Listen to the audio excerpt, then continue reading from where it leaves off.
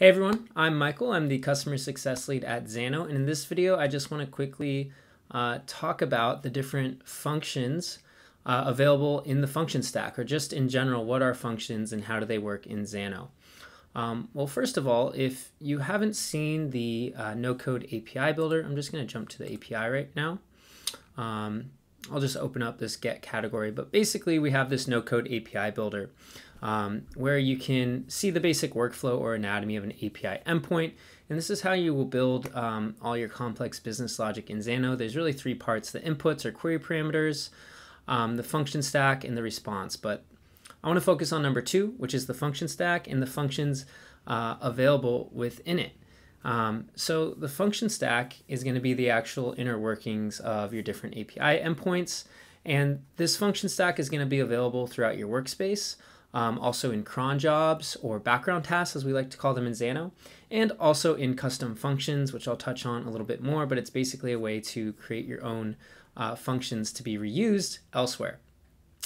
Um, so we can very easily add uh, a new function to our function stack, either by hitting this plus button here, this one to add a new entry below, or even this one to add one at the bottom. But I'm just going to select this. And when you do that, you see all these different categories of functions that are available. So let's talk a little bit about them. So database request. This is when you're interacting with the database. You can see when I click on this, there's a whole uh, bunch of different options of functions. Um, there's query all the records where you can do additional filtering, joins, um, etc. to manipulate your data. You can get just a single record. Um, I'm going to skip down editing record, add record, add or edit record, which is a very powerful function. It's going to look through the database for a record. If it uh, exists, it's going to update it. If it doesn't, it'll add it.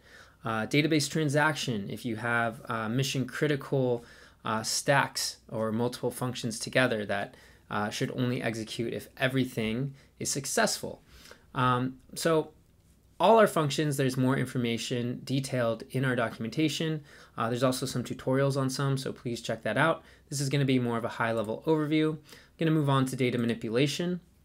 So if you need to store things in variables, uh, update variables or objects, do conditional if-then statements, loops. Uh, these array functions are uh, very nifty. Uh, they take some complexity away by uh, removing the loop um, and manipulating arrays in a very nice fashion. Definitely recommend uh, checking that out if you're working with arrays. we have data caching where there's a whole tutorial on these functions and they're powered by Redis. Um, these are available on our dedicated resource plan. Um, but very powerful tool, especially if you're working with uh, external APIs with large payloads. Um, that can be very handy. Uh, cryptography, so if you need to do some kind of encoding or create some kind of token, um, these are all available as well. Um, custom functions, I mentioned them a little bit earlier. I'm going to skip this, I'll come back. Um, you also have utility functions where there's things like preconditions where you must enforce something that's true to set a layer of uh, maybe security to happen. You can set uh, HTTP headers.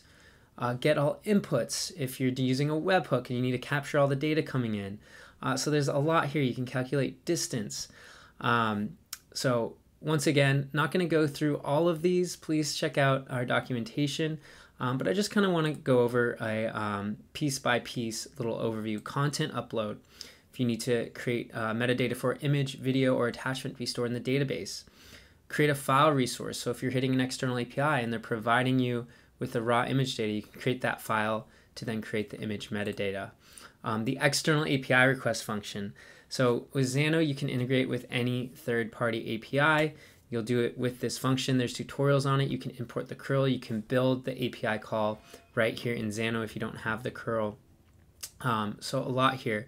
Another thing um, about functions before I just touch on custom functions. Um, here right now you can see I have this query all records for my category table. When you create a function, um, they will almost always have a return variable. Um, you can see this one is return as category here in orange. Um, and we can change the name of those to whatever we want. Um, but basically in Xano, um, in our function stack, you can stack functions and they will be performed in a linear fashion.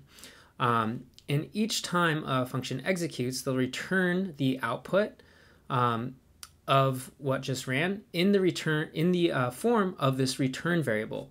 Why is that important? Because you can actually uh, pass data uh, from function to function down the function stack uh, to manipulate that data so we can get it as exact um, as we want, uh, which is very important because um, you know sometimes we're working with different tools and we can get the data, but we can't transform it in exactly the way you want. The great thing about Xano um, is it really shines in transforming that data to get it in the exact way uh, that we may need it to be. So just keep that in mind. Lastly, I'm just going to hit on custom functions. Um, there's a whole tutorial on it, but basically if you jump to the library and go to functions, I'll just add a function real quick. Um, they're a way to make reusable logic, and they have the same workflow as the no-code API builder. You see there's inputs, the function stack, it's the same exact function stack, um, and then a response. The only difference here is instead of an endpoint URL that you would use to connect this function uh, to a front end, uh, you actually are able just to reuse this function in any function stack uh, in Xano, whether that be an API endpoint, another custom function, or the background tasks, which are the cron jobs, right? So as you can see, I have the same function stack. And if I go to custom functions now, because I've created this test one, you can see that's now available there. Um, so that's a very great, useful tool. You can even convert um, API endpoints into these custom functions if in case you need to, you realize you built some logic and you'd rather uh, be able to reuse it or move it to an API group. Um, so just another piece of uh, information there.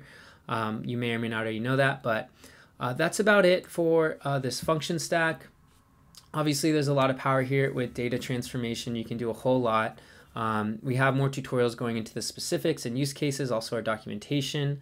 Um, additionally, on the note of just data transformation in general, we have our filters, um, which are a whole another library of data transformation that are really powerful uh, on the fly things. But um, we'll, we'll have more tutorials on that uh, our documentation if you want to check that out. Um, but just want to give you guys a high level overview. So I hope you found this was helpful. If it was, please like the video and subscribe to our channel. Uh, we're always coming out with more content. Uh, so thanks for watching and see you guys in the next one.